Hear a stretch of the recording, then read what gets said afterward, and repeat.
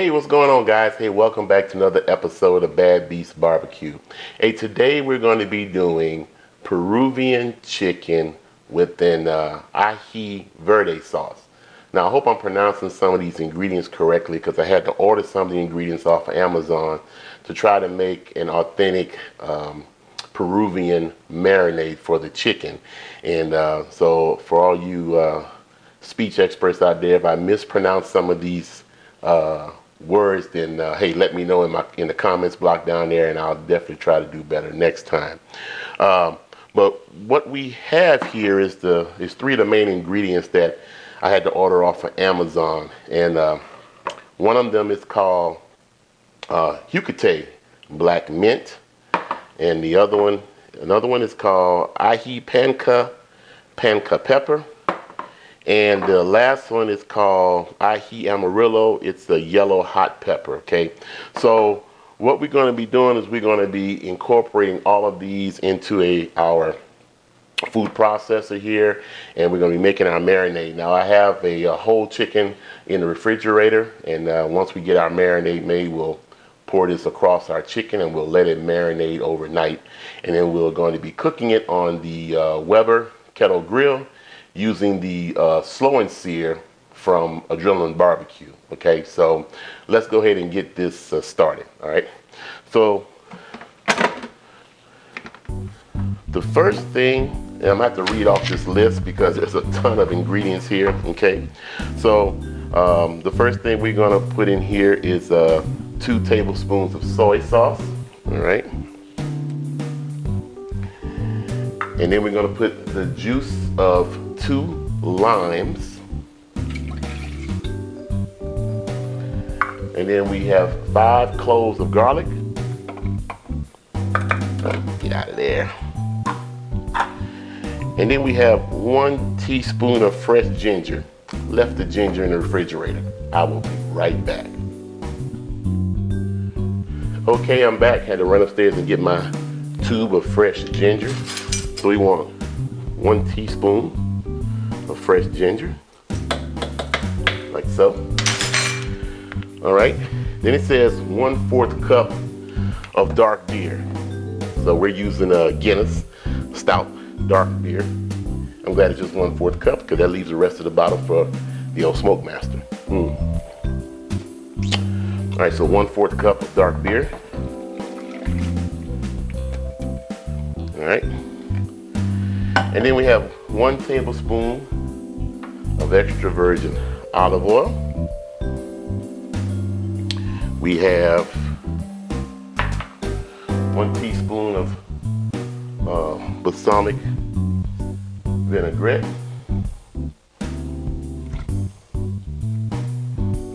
Okay, actually that was the soy sauce. The balsamic vinaigrette went in first. I thought the quantities look a little off, okay? All right, so now we got one tablespoon of, I'm pronouncing it right, Yucate paste. Okay, so it's is a very strong, it's a green paste. So we'll get one tablespoon out of here. Toss that in there like that. All right. And then we want some of the panca paste. So we'll get one tablespoon of that and we'll toss that in there also. Okay, the next thing we need is uh, ground cumin. So we got one and a half teaspoons of ground cumin. And then we got one fourth teaspoon, I'm sorry, one teaspoon of dry oregano, one teaspoon of dry rosemary, one teaspoon of salt. Now, I don't use table salt in my recipes. I either use kosher salt or sea salt. This is sea salt right here because uh, I can control the salt. You can always add salt to a recipe uh, or to a dish, but you can never take it out, okay? We got one half teaspoon of freshly ground black pepper. And we have one half teaspoon of cayenne pepper, okay?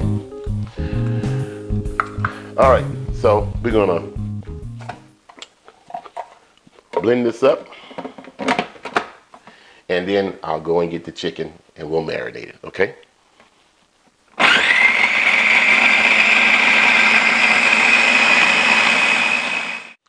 All right, guys, so I have my uh, chicken here. Now, this is a, a young chicken, and it, this weighs about about three and a half pounds, and I've spatchcocked it. You can't see that in the bag here, but I've spatchcocked it uh, just so we can spread it out on the grill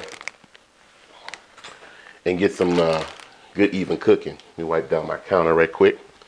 All right, so let's go ahead and get our marinade out of the processor. Now, that smells pretty good. Got a nice, nice strong. I can't even describe it to be honest with you, but again, I have never had Peruvian chicken on, not that I can remember. So I'm definitely interested in seeing how this tastes. Okay.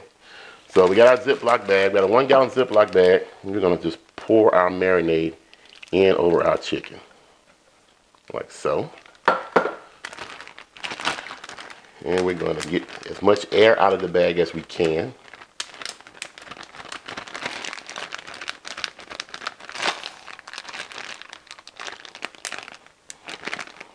Zip it up real tight. And we're going to move this around so that everything gets covered inside and out. Okay. All right, so I'm gonna put this in this Tupperware so we can put it in the refrigerator just in case it pops a leak. The wife won't be fussing that I have Peruvian marinade all over her eggs. So, all right, so we're gonna put this in the refrigerator. We're gonna marinate this overnight, and then we will come back tomorrow and we'll show you the final cook. The uh, ají verde sauce we're going to make while the chicken is on the grill tomorrow, so I will show you that. And that uses this uh, ají amarillo according to the recipe I found. So hey, don't go nowhere.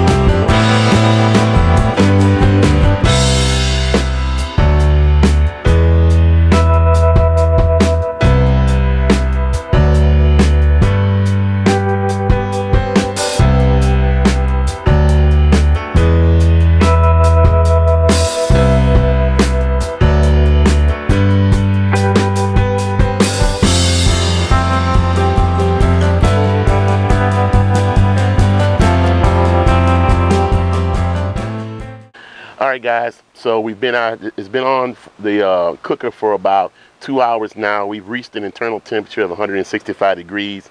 So uh, let's go ahead and see what this old bird looks like. All right, so she's looking pretty good, guys. She uh, got a real dark color to her. I think that's because I put uh, the paprika and stuff on there. Plus, we have the the um, used the peach wood. So it's got a real nice color to her. Let's go ahead and pull her out.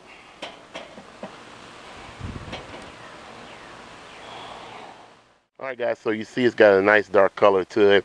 It looks like it's got a lot of juice. We're gonna go ahead and let this bird rest for about uh, 20 to 30 minutes, and uh, then I'm gonna go ahead and cut into it, and we'll go ahead and give you a taste test. So hey, hang around. All right, guys, so we're finished with our cook. Uh, I let the chicken rest under some aluminum foil after it came off of the Weber for about 30 minutes or so. And uh, so I'm gonna give you a close-up look at this bird. So as you can see, it's got a nice mahogany color to it. It's uh, you can tell it's got it's kind of juicy, got some juice running out from underneath it. I'm just hoping the breast stay juicy. Uh, some of the areas got a little bit dark. What I would do next time is probably put a little foil on the wing tips the next time I'm smoking chicken in order to allow them to uh, not get so dark. Once I once they reach the color I'm looking for, then I would probably just foil the, the tips. But let's go ahead and uh, and have a taste test. All right, so we're gonna go ahead and, and cut into this. And like I said, hopefully, I can see a lot of juice underneath the bird. I just hope the breast is juicy. Now, let me give you one caveat. I know originally on the first day when we did the marinade for this chicken, I said I was gonna let it marinate just overnight or 24 hours, but due to circumstances beyond my control, I wasn't able to cook this bird yesterday. So uh, to be honest, this bird has marinated for almost 48 hours. So if nothing else, it should be full of, oh, there go the Thunderbirds just passed over. So if nothing else, then these, this bird should be full of flavor. So let's go ahead and cut into this, all right?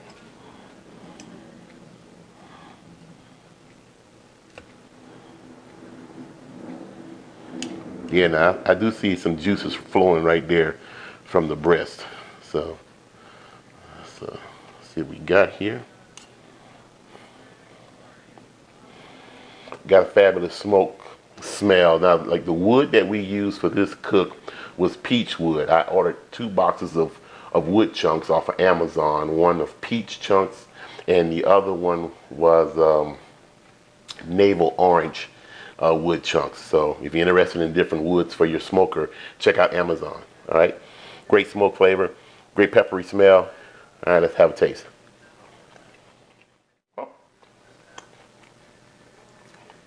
Man, I am definitely thrilled with this flavor here. I mean flavor through and through.